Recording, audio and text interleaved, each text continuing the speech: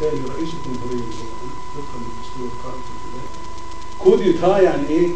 ضربة للمؤسسة فبيقلب كل موازين المؤسسين ومعنى المؤسسين في التشريع وفي التقوى فاحنا في حالة انقلاب أنا ثمن بسيط لمثل هذا.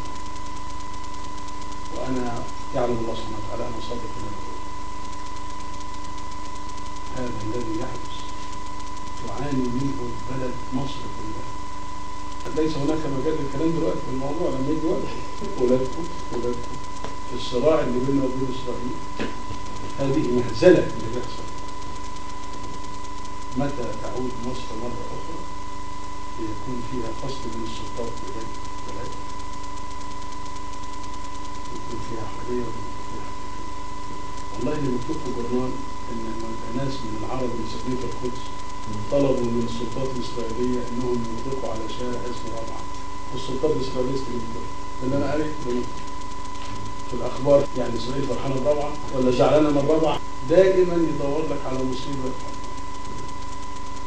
وربما تثبت تثبت الأيام إن هم ورا المصيبة اللي إحنا فيها.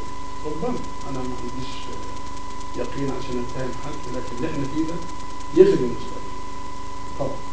مصر تستقر وتنمو تبقى قوية وابنائها هم اللي يمتلكوا ارادتها زي ما أنا كنت بقول عايزين ننتج غذائنا ودوائنا وسلاحنا. فنمتلك ارادتنا يبقى إسرائيل ملهاش قيمة لو مصر لا خالص. إسرائيل دي ملهاش قيمة. هي إسرائيل.